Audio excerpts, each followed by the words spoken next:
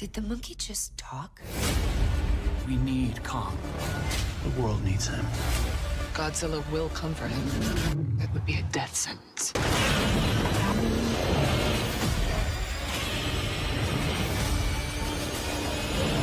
Godzilla vs. Kong in theaters and on HBO Max the exact same day. Rated PG 13.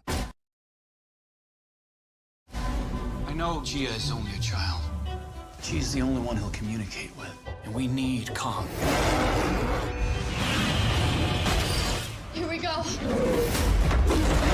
This won't end until one of them submits.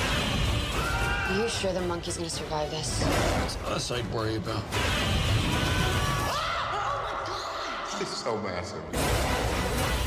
Godzilla vs. Kong in theaters and on HBO Max March 31st. Rated PG 13.